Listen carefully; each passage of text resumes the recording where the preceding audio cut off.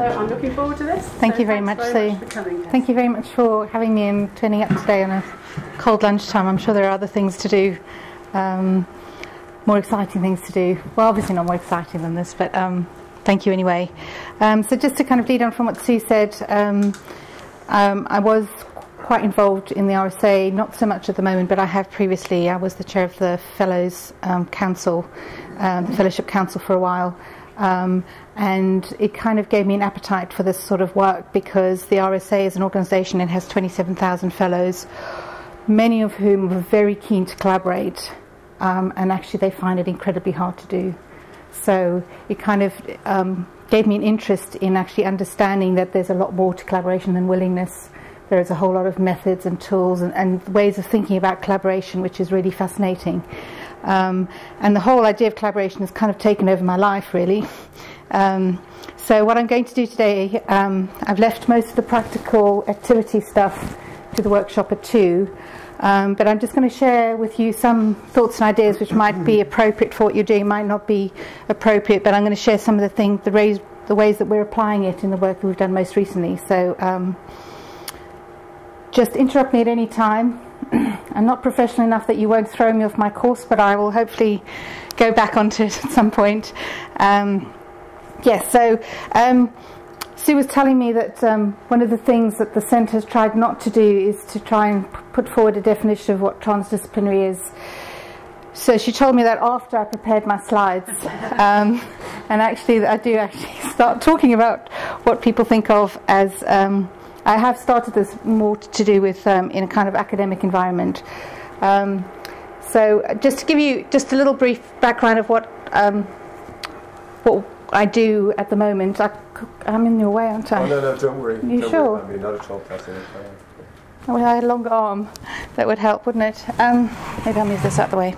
Um, so um, I call myself a social designer, and I see that as a kind of a new type of transdisciplinary practice, um, which we're still kind of developing and thinking about. It's kind of more and more being reinforced that it's a kind of a whole set of skills or ideas, which is, is is not rooted in one particular discipline.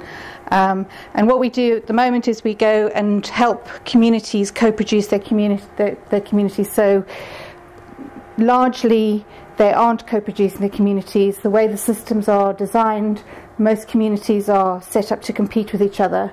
Um, smaller groups competing for funding.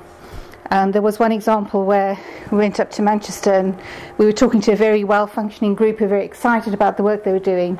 And we said, but you know, we met these fantastic guys. They're like four blocks away. You really, you know, how come you guys don't know each other? And they go, well, they got funding last year, and we don't speak to them anymore. So the kind of systems we set up are not designed largely to collaborate. And I think that in the university kind of funding world, there's a lot more emphasis on collaborative applications and things like that. Sue was talking about that earlier.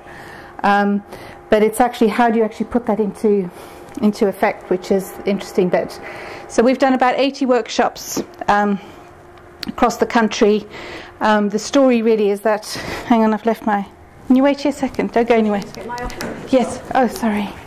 I produced this book collaboratively um, two years ago called Handmade, and it was really a collection of um, mostly projects, but some sort of thought pieces about projects which were doing things rather differently in the communities um, and on a sort of local level.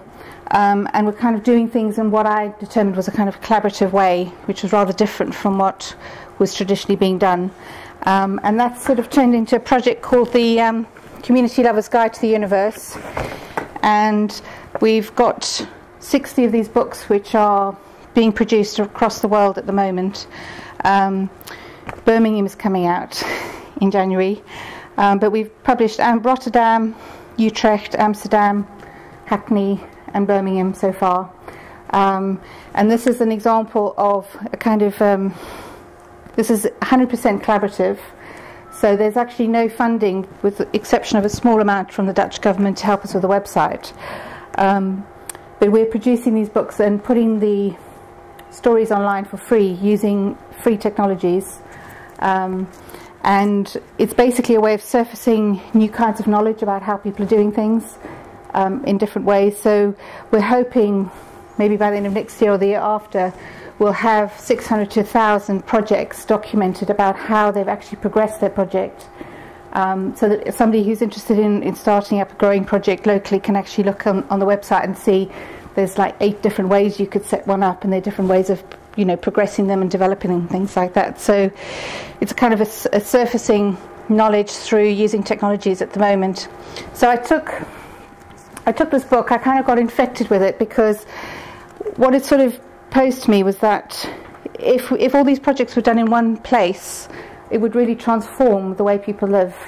Um, and I got kind of infected with that idea. So rather than a dystopian future, I kind of got infected with the idea that we might have a utopian future, even though I think this whole kind of way of working is quite vulnerable, is quite vulnerable. Um, but I went and took it on the road. I did this project called the Tra- Travelling Pantry, which was kind of like a very public midlife crisis. So my daughter went to university and my son went to boarding school, and I, on a Monday morning, I would take, uh, I would go on the road. Basically, I'd had it all. I wasn't doing it just um, off the cuff. I had it all planned, um, but I gave free workshops all over the country, from Glasgow to Penzance to to Brighton, actually testing out some of these tools that I'd um, developed to see whether you could stimulate these kinds of projects together. So put a group of people in a room together and see if a certain way of doing things could actually have them do collaborate in a different way. So it was incredibly exciting. Um, it wasn't very lucrative, um, but it was incredibly exciting and it's really informed all the work since then. So we've just constantly been building on that. So that's Community Lovers Guide. I'll talk about that in a second. Um, but collaboration, particularly in the sort of university context, is all about new knowledge. Um, so I found this rather good um, definition. In a given system, or within a given discipline, new knowledge is generated by combining internal knowledge specific to this discipline and external coming from other fields and making tacit knowledge explicit. Um, so, all the work that, that I'm involved in, and probably most of the work you're doing, um, including teaching students or learning from lecturers, involves either transferring or creating new knowledge in some way. Um, so, creating new knowledge involves combining isolated knowledge assets synergistically to produce new capacities, ideas, and processes that existed neither internally nor externally. And it sounds very ordinary when it's kind of put in a sentence like that, but actually, the whole collaboration, I think, you know, the core of it is really having a genuine belief that putting bits of knowledge together is a really worthwhile endeavor because a lot of people say that, but they don't actually believe it. You have to have a really strong belief that that collaboration is is got value. So here's the definitions, Sue. Close my eyes. Close your eyes. Um, so this I took just from a particular paper, which I'm going to just talk talk to you about. Um, he um, it's a paper written by Bruno. I always forget his surname. It's a very long Italian name.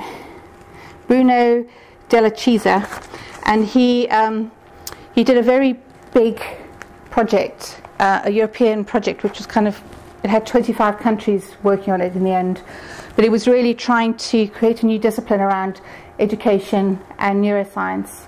So um, this, this particular paper he wrote for the Mind, Brain and Education uh, journal. Um, and I was kind of sort of secondary involved in that. It's actually, the journal itself is based at Harvard University. But it's one of the uh, it's one of the things that's really given me an interest in transdisciplinary work because it's so complicated and difficult that anything else you do um, would seem easy. So this was his this was his definition, um, saying basically creating intersection in two dimensions, and he's kind of saying that as though that's easy. You know, he's drawing this as a comparison um, that that sort of collaboration would be easy. Transdisciplinary, he's done this fantastic diagram for us. Basically showing how very complicated it is. But it's, a, but it's applicable in the mind, brain, and education field because they are trying to actually create a whole new field from um, combination of those two things. So in transdisciplinary, a new transdisciplinary field in its own conceptual structures is created through active cooperation and fusion of completely different disciplines. Um, transdisciplinary planarity is a dynamic concept whereby various dis- disciplines are connected and ascended to a new discipline. So um, even without looking at those diagrams, you know that it's not complicated. Anyone think that it's as complicated? um, so this is what he, this is the paper he wrote, and um, I'm very happy to send a PDF of it to Sue if you're interested in it, um, because it's actually unusual for people to write in journals about the struggles they've had collaborating with um, disciplines and different departments. So, and he's particularly um, open and honest about it. So basically, what they found was knowledge transfer barriers all over the place, um, and these are um, these are apparent in probably most of your work, whether you're collaborating or not, whether you're collaborating with students even. Um, it's it's apparent in all the work that I do, is that there are these these barriers of, of um, transferring um, knowledge. So just a couple of examples. I won't go through the whole chart. But um, so inhibition due to myths, traditions, and groupthink. I think that um, certainly in the work I'm doing with trying to help local authorities um, collaborate more with local residents, they, that's one of the kind of really difficult things is that um, there are very strong beliefs um, and group thinks around what the community does and what the, the council does.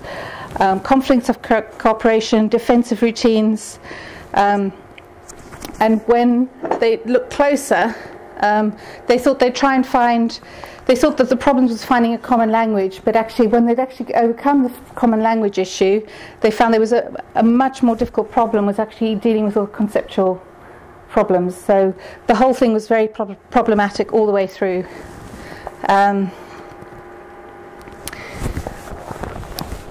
so one of the things they noticed was that um, was the, the degree of participation. So they started out with five countries being involved in the project, with another 20 of them actually held back in terms of really getting stuck in. So they kind of signed up for it, but they wouldn't really get involved because they wanted to watch and see what happened. And that's kind of a characteristic I've seen quite often is that there there's a group, and they're not. I don't think they're the same as the kind of early adopters, but there are people who are willing, much more predisposed to collaborate.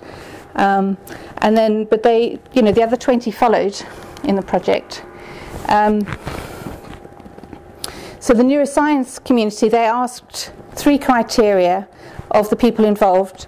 Experts would, should be willing to, and able to share knowledge, um, able to adapt their language to, to a different audience, um, and recognize the long term connecting information across fields is really valuable.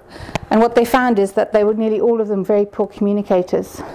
Um, and this might be significant to some of um, the work that you do, but one of the things they found was that younger academics and older academics were much better at it.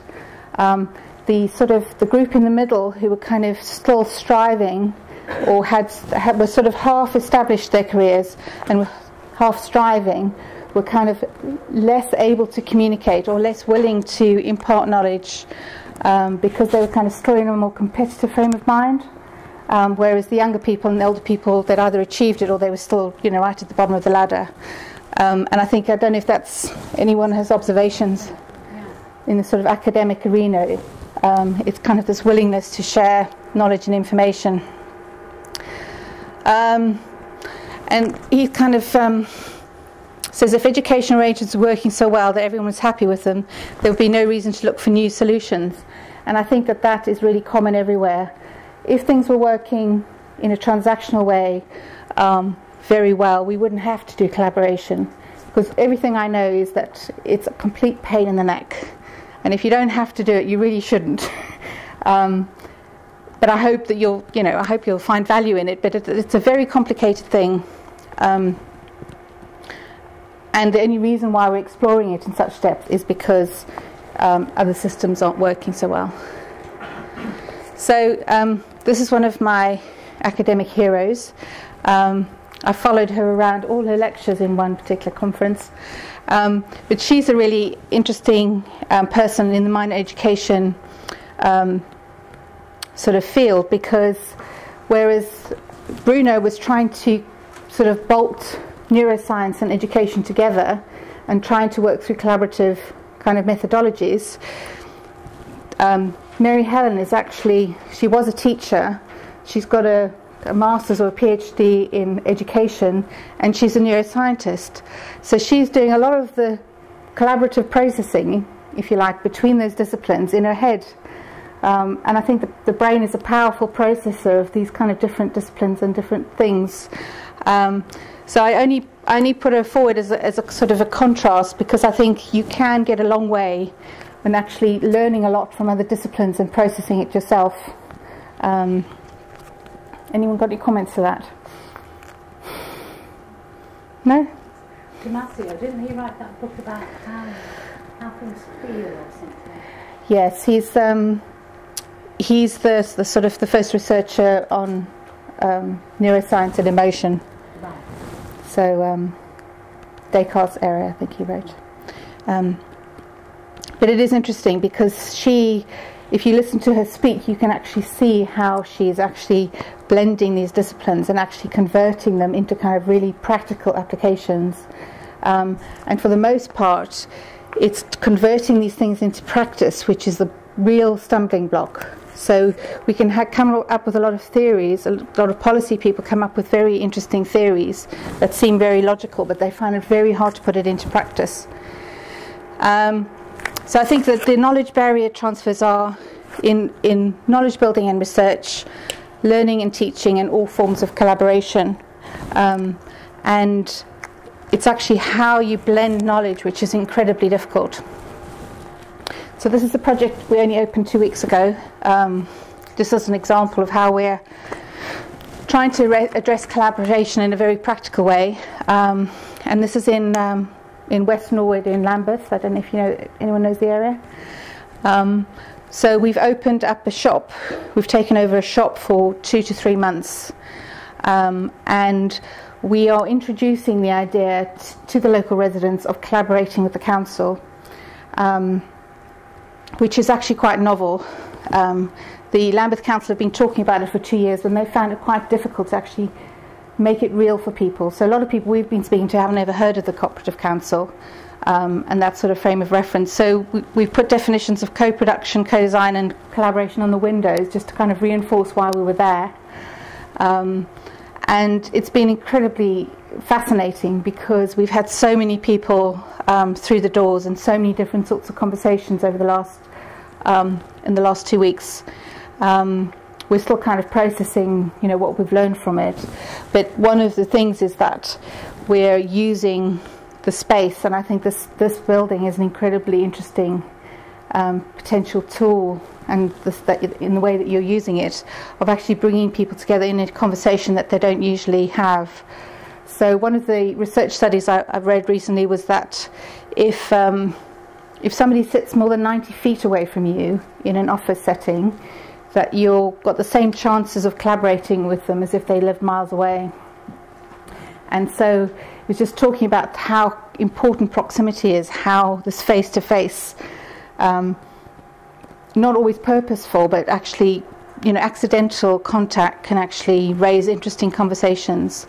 Um, and I think it's kind of reflects kind of an emergent approach to things. So, um, when you talk about we, yes. Who is the team you're working with? Or? Well, I um, I run a thing called Social Spaces with a partner called Laura Billings. We collaborate with lots of different people, but at the moment we've actually been taken on as staff for Lambeth Council. Um, so we actually work in the policy department and we're implementing this project and we're working with a team within the council. And who made contact with the people from the community? Um, we did. Well, we basically just opened the shop um, and we put a program of talks and workshops and things together. Um, and we've just been making cups of tea for people for the last two weeks. Um, it's, um, I mean, there's two projects which I was going to talk about possibly in the workshop, which I might mention now just as, a, as examples of kind of taking that sort of informed this approach. One was that um, there's a place in Rotterdam called um, is it? Where have I got them down here? Um, the mayor's living room, and it's actually a shop which has been taken over by a street of, of residents, and they pay three euros a month um, to have the space. Um, try and find it. and they're treating it as their own community space and doing things that most people think the community centre should do, but actually most most uh, community centres are service driven establishments. They've kind of changed a lot over the years about the concept of it. I've actually heard in Israel um, there are also some communities there who have they club together and rent a house, which they make their community space. So all all the, the case some of the case that I'll be talking about later is actually how people are creating their own spaces now, in which collaborative spaces at, at local level. Um, the other one is um, in The Hague, and there's two um, retired um, urban planners called Willem and Noel, who are the most delightful people. I kind of fell in love with them after about 20 minutes. Um, but instead of volunteering for projects, they've actually decided to rent a house in their neighbourhood, um, and it was in between the mosque and the uh, Catholic church. And they didn't do any engagement work. They just sat at the window and drank tea for about three weeks, and so people started getting curious and knocked on the door and you know asked them what they were doing. They were practicing what they call presence, which is a, a sort of theoretical thing that one of the university guys has. Um, there's quite a few things like this in Bristol, but they tend to be segregated into certain ethnic groups or need groups. Yeah. And they don't tend to, like there's a Somali community centre, there's a Hindu community Yeah. centre, a Caribbean community centre, but they Yeah. don't really seem to talk to each other or mix. So how do you make something that's truly inclusive and bridges? Well, I think a lot of this is. I think there are a lot of places like that, and actually, the um, those are generally much more um, community orientated in the in the field that they create um, than the traditional English community centre as it's functioning at the moment. Um, our challenge is to actually try and create spaces, if we can, that actually bridge some of those um, divides. They used to run a refugee centre that was very similar to this type of idea, but I know for a fact that a lot of refugees and asylum seekers are very sceptical of anything authoritative or they see as kind of council run, etc. So they just Yeah. wouldn't knock on the door or Yeah. like that. They wouldn't come to you. Mm. Well, I think that um, I think that the purpose that we're trying to do with this is really to um, think about ways that we can actually collaborate with local residents to make new things. So it's not. We knew when we opened this. Um, it's actually called the workshop, which we didn't name. Somebody in the comms department did. I hope he listens to this recording. um, but um, we've been mistaken for a job centre and a one-stop shop. So one-stop shops are some councils have set up spaces where people can come and ask about their parking tickets or their council tax and things like that. So in one central space, but we've been very um, determined to actually have conversations not about those things, but actually about how we can collaborate better. Um, and we've been surprised at how receptive people are to it. Um, but in, on a sort of on a knowledge transfer level, we're actually trying to uh, convey quite a big concept change to a lot of people. Um, and it's how do you, where do you start with that? And we think you start from, you know, your first cup of tea with somebody, um, and do you know what I mean? You have to start with conversation. So it's almost using the space as kind of making the community conversation ready, rather than actually jumping too far ahead. It's actually starting with the smaller things. Um, Mom, could you possibly continue this story about the presence in the Hague? Oh yes, sorry. Yes, so um, yes, so they yes presence. So it was a university, I think, in the in in the Hague or Amsterdam, who has sort of put us this this idea forward of, of actually being present and not always being out there broadcasting, pushing, engaging, which is kind of what we're all kind of trapped in to some degree or other. Um, and what's emerged from that is actually having the confidence that things will emerge through this, this new kinds of connectivity. And they've got about 20 or 30 projects running out of there from language sharing lessons to sports groups for the kids. Um, they do quite a lot of arts based projects as, as well. Um, most delightfully, they've actually given away about 50 keys to the building, of which they have no record, um, which I don't think you could get away with in this country, but it's a real testament to the fact that you can operate like that um, and, and, and use that as a way of making a space kind of owned by um, a larger group of people. How did the conversation go when these people knocked on the door? Because you said that people knocked on the door. What, what, how did the conversation I think they just had very gentle conversations about what people would like to do and what might be useful. They've actually sort of, if you met them, I'm not sure you'd be as equally charmed as I was, in that they are incredibly. Well, Willem is actually quite militant underneath it, but his manner is very gentle. Um, and I think that they, they've just, do you know what I mean? They've just softly come out of these things, but actually quite significant things where if you'd, if you'd started on day one, just plastered the window with, this is what we're doing, come and do this, come and do that, which is a little bit like what we did here, um, um, you know, I don't think it would have worked as well. And it's also actually, it's, a, it's really an indication, along with most of the stories that are, are in the books now, of how people want to engage differently participate differently in society because these guys they could easily have donated some money to charity. They could have volunteered at a, an existing community centre but they decided they wanted to create something. They wanted to make change themselves in their own way. And it's kind of really interesting to see how lots of people are actually trying out those things um, where they can. So in the in the shop that we're working with all the materials that we're doing um, we've got installations and some activity sheets and things like that but all of them are all of them are pointed towards how we can collaborate. So on this right hand, on this left hand one, we've got a range of 20 activities or so, and we're asking people to put on a on a sort of line where they think um, the responsibility for that particular act- activity could lie. So what can citizens do together? What can citizens do together with professionals and government, or what should professionals and government do? And this is based on one of the activities we've done in our workshops where surprisingly the amount of difference there is around these questions is astonishing.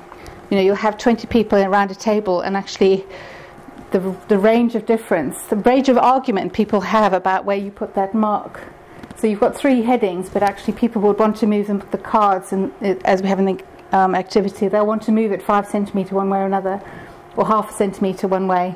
Actually, people feel quite passionate about where these things are, and there's quite a big difference in it. Um, this was um, another project we did last April, which we still haven't documented properly yet, um, called the Ad Hoc Inquiries.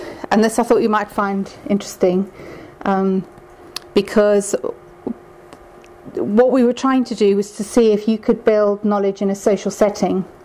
Um, if you had two hours and you had 20 people around the table um, and you gave them something nice to eat and you, um, you had somebody who would propose a theory from their work.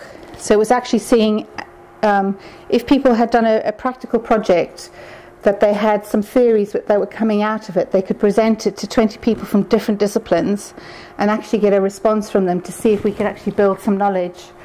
Um, and we did four of these evenings, which were quite extraordinary.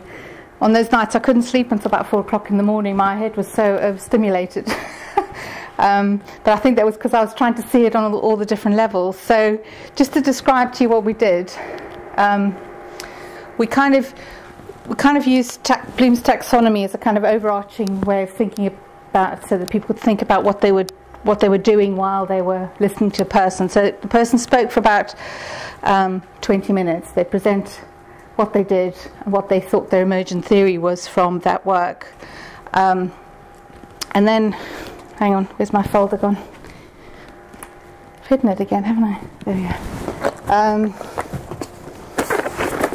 so everybody was given an egg timer. Um, so they were only allowed to speak for a certain amount of time. And I think we started off with five minutes egg timers, and we ended up with two minute egg timers. So each each event we did, we changed it. Um, so we could consider what worked well the first time, and then we changed it for the next one, etc., etc. So they all had a blackboard um, bat with chalk that they could give some com- comments back while a person was speaking. So that's not intimidating at all, is it? um, it's it's sort of it was kind of weird. It's loads of people. So just people just wanted, you know, normally looking for nodding heads or something like that. So we, they were they had to put a tick or something on them, or a cross, um, and um, it, this worked to some degree, but not as much as we thought. The egg timers were fantastic because it made it took the pressure off the facilitator, so everyone was kind of measuring their own time. I mean, there were some people who just like, oh, whoops, I forgot to turn mine over. Do you know what I mean? Um, but it was an interesting way of keeping tabs on the on the time. And then on the by the second t- the second evening, we thought the people were really enjoying themselves far too much. and we were after there, after all, there to, to share, not build knowledge. You know, we weren't there for a social. So we put a bit more pressure on people. Um, and what we did was we printed the cards out with um, Bloom's taxonomy on. So we were asking them, so they all had a set of these. So before they spoke for their two minutes, they actually had to say what they were doing, whether they were um, applying some knowledge to what had been said, or that they recognized it, or they were making an interpretation. Um, so we were asking them in a way to be metacognitive while they were thinking of something clever to say. Sorry, it's so funny when I think back because we, I, you know, we knew we were going to put pressure on, but I've never seen people concentrate so hard in my life, including myself, um, when we introduce these because it's actually a really hard thing to do because you're kind of listening to someone, you're, you're trying to absorb what they're saying, you're trying to add something from your own knowledge base or your own discipline or your own experience. At the same time, you're trying to have to analyze what you're saying into into one of these categories. So, yeah. What kind of people are they? Part of that. Well, um, most of them were in London because we did it in central London, um, and they were all from different disciplines. The, the the main the four people that we had in to give a theory were all related in some way to the idea of collaborating between um, local residents or citizens and local government. So we had two which were sort of senior people in local government. Um, we had an activist who'd been working in Peckham for years um, called Eileen Conn, who's an amazing person.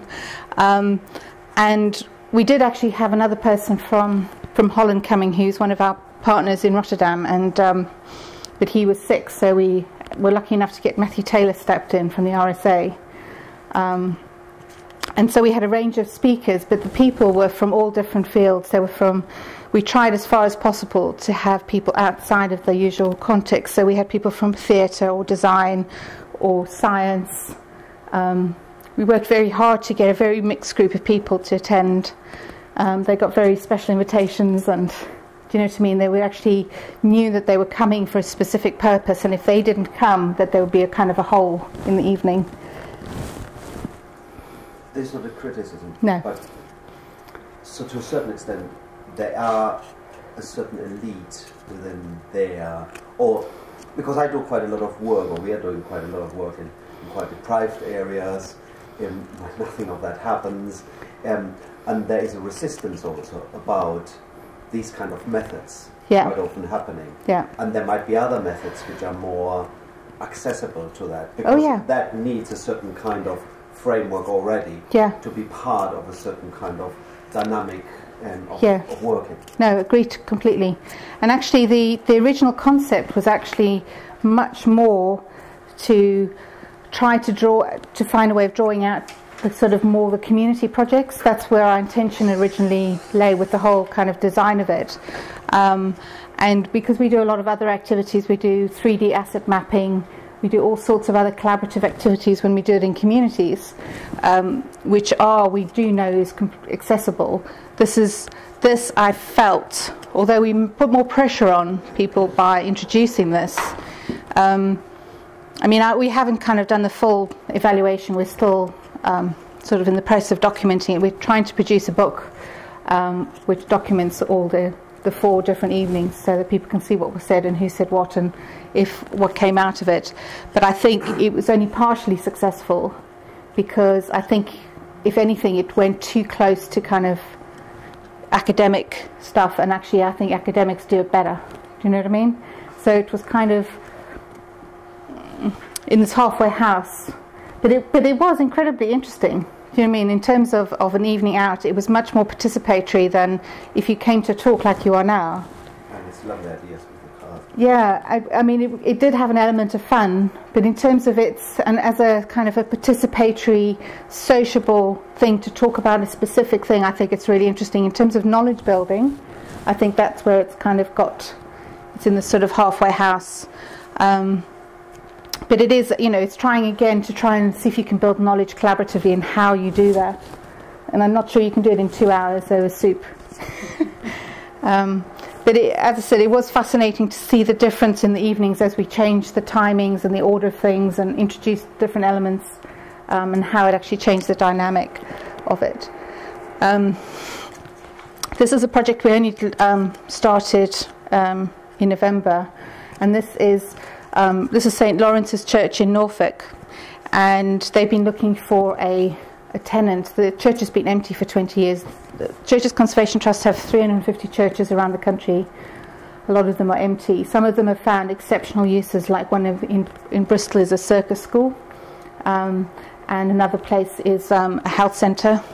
Um, but when we went and, and, and looked at Norwich, we found that there was, I think there's 58 churches in the town centre, and there's actually four in the same street as this, and they're not small either, they're all big medieval churches. Um, so one had already been turned into an art centre, one was already being let. Um, so what we did was we we tested the idea of actually introducing a kind of collaborative economics, if you like, or collective economics, um, and we launched this idea of, of having a community common room, which sort of goes back to the idea of a community centre where people can drop in, where they can start new projects, test ideas, you know, where somebody can be fixing a bike in one corner, somebody might be baking bread in another corner. So it felt like that kind of environment. Um, so we did a, a prototype day, um, which was incredibly um, well attended. We had sort of 200 people came, um, and where it is at the moment is that a founding group has come together um, who want to start a cooperative in which to kind of develop the idea to the next stage. But it's the idea that we came from was a lot to do with all the research we've done into all these projects and all those trips around the country. It's actually getting a sense from people that they really do want to collaborate, that regular people aren't satisfied with the kind of spaces that they have at the moment. They don't they don't want coffee shops or restaurants or go to people's houses. I'm Not saying they don't want to, but they also have this real thirst for different kinds of spaces um, where they can contribute more, where there's a more permanent kind of sense of of community there. I mean, another example is um, you may have heard of it. It's called Men's Sheds. Um, and there are 500 of them in Australia um, but they're set up as making spaces as workshops permanently. So they they don't do what we do a lot here in this country, which is make versatile spaces where you can sweep out the playgroup in the morning to sweep in the WI in the afternoon. They're actually set up permanently. Um, and the advantage of, of um, Men's Shed is they've done quite a lot of research around it, so they found the well-being has gone up of people um, who are involved in it, and the well-being of the whole community has and it kind of sets up a kind of collaborative space for people um, to do things. I'm done. I just wanted to know um, what's Bloom's taxonomy, what discipline does it come from, why did you choose it, and how does it work compared to a kind of um, emergent sort of of relationships? Um, Bloom's taxonomy was devised in the 50s, I think. Correct. Somebody else will know the answers to this. Um, correct me if I'm wrong. Um, and it was set up as a sort of taxonomy of, of cognitive processes and how we manipulate knowledge. So the first one I think is understand. Um, um, the other one is the next one. Hang on. No, remember. It's remember. Um, but I think it was it was revised. I think in, in 2000 and something. But it took them seven years to revise it, and all they did really was change. They stopped it being um, instead of saying applying, they changed it to apply. um, but it's it's quite a useful. It's a sort of a, a, a level of um, thinking. So at the top is create, but underneath is kind of um, evaluate. So how did you find people responded to that as a framework? Well, everybody everybody contributed um, everybody could kind of see what they were doing. Because I think even on the, particularly on things like recognize, um, if you can recognize what somebody's saying as something you identify with, or you can connect with something you can work with, and they really responded to that. Or, I mean, I think that the whole um, the evaluate thing is the, was the most complicated one because the way it was structured, those evenings were structured, you were really setting it up as though it was going to be a critique. Because um, that's what people are really used to. They're used to people having somebody in a debate situation or something like that. So this was kind of an alternative to a debating situation. We were trying to be a bit rigorous, but you didn't want to set somebody up to put forward a, a theory and then just be criticised by 20 people. um, so we had to be very clear when we, you know, introduced it that there were, we wanted as many people to use other different forms of thinking about it. I spent many years working in community development in policy units in local government. And I'm really surprised that you've not mentioned anything about this very hierarchical, androcentric nature of the bureaucracy and the political structure that we, that local government has to work within, which is very top-down, representative rather than participative or deliberative. Yeah. And, uh, and it'd be really interesting to hear, because I know Lambeth uh, yeah, pretty well, I work Yeah. And uh, outside the policy team, I mean, how, how, how's the rest of the council? I mean, do they just ignore you, or are, you- are, you are, are people engaged? Would you ignore me? No, no, no, no. I'm being serious. I'm No, no, no, I know. No, I'm not being flippant either. Um, we've only been working with the council since August, and we have been in the policy department, and the policy department have really driven the cooperative council agenda. Um, and I think what's been interesting is that with the workshop, part of the kind of rationale for it was that we had we went and presented it to all the different departments and the partners like the NHS and the police, and we invited them in to give talks or th- asked them how it would be useful if they collaborated more. So we've kind of co-produced the actual project with all the partners. Um, but there's um, there's absolutely no doubt that there there is a hierarchical thing that we are pushing against, um, and even at community level we're we're pushing against that because um, the um, I can I'll, I'm sure Sue can circulate these slides, but one of the things which has come out of the, the work that we've done really is to the analysis we've done is how people participate or want to. It's not very easy to see that. I've actually got a few of these if you wanted to have a look at those. Um, sorry, I only have four. Um, it's really um, just to just very briefly. Um, so these these first four, which is consumer, representative, charitable, and challenge, those are the ones which we've seen most um, most historically. These are all really well established ways that we contribute to society. Um, this is through political, social, etc. Um, or we challenge with local authorities. There's quite a lot of challenge going on, particularly around planning applications and things like that. But this creative collaborative, we described that only as a result of actually looking at all these projects that we were studying, all these new types of emergent projects around the world, which were kind of building social capital and bridging communities and, and doing things in a different way. That they, the only reason for putting them outside of that existing framework was that they didn't fit in those other four things. Um, and we're kind of seeing emergent things where kind of creative collaborative is kind of mixing in with consumers to create the sort of collaborative consumption idea. Um, we're seeing a little bit about representative and creative collaborative. This, I think, is incredibly hard. I don't know how many of you involved in any kind of representation groups, um, but even when I was working at the RSA, um, it was uh, the, the, fellowship council was um, predominantly a, a, representative body. We were kind of representing the fellows, and actually, it's quite hard to actually get any kind of activity or collaboration going in that environment because it, it kind of comes with a whole set of comes with a worldview. It comes with a whole set of behaviours which are really quite established or entrenched in some cases.